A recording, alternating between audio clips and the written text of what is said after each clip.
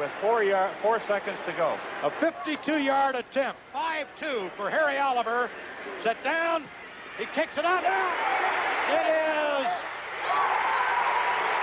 It is good. It is good. It is good.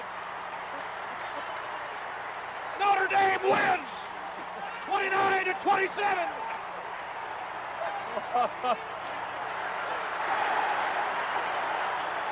Notre Dame wins it.